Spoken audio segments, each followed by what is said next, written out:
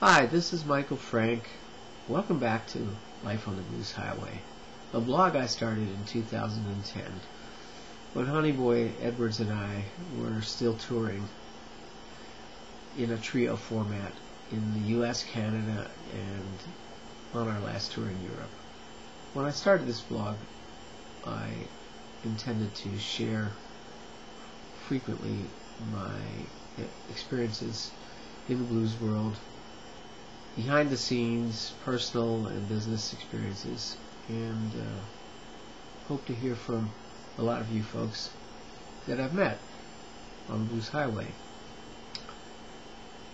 But I didn't uh, really get into blogging like I had planned to do, so here's my new introduction to what I'm doing, and I hope that you'll come back visit and share more than I did the first time around.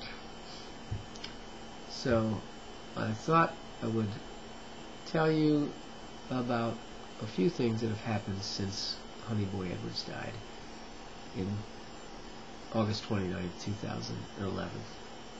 So that's where I'm going to start. Uh, so stay tuned.